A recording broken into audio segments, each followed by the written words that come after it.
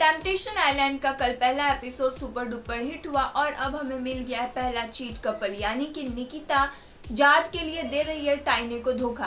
क्या है पूरी डिटेल आइए जानते हैं। आपको बता दें कि कल टेम्पटेशन आइलैंड का ग्रैंड प्रीमियर था। ये इंडिया में पहली बार टेलीकास्ट होने जा रहा है और हमें अब पहला चीट कपल मिल गया है।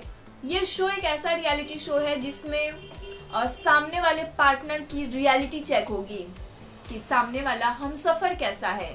क्या वो साथ देगा या फिर वो बस किसी और के साथ निकल लेगा? तो ऐसे में जो है, पहला चीट कपल हमें मिल गया है। निकिता जो है, वो टाइने को धोखा देने जा रही है।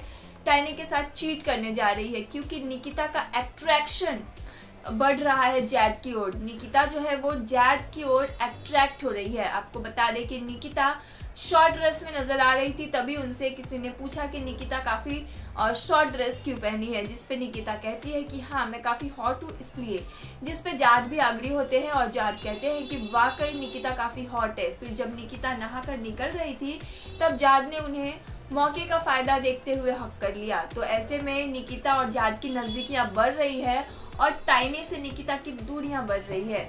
तो आप क्या कुछ कहना चाहते हैं? इन सब पे इसमें आपका फेवरेट कपल कौन है? कमेंट में बताएँ और भी अपडेट के लिए सब्सक्राइब करें गपशप तो